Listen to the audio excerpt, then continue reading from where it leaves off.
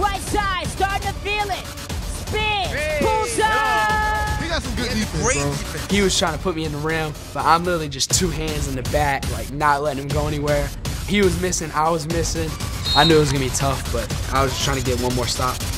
Cameras out. Will we see the new State Farm King of the Court beat crowd? Bryson Tiller! Bryson Tiller takes it home.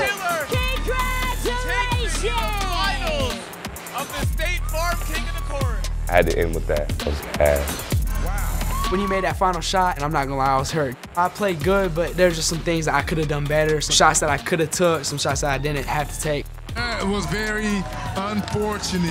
Isaac Ellis fought though, man.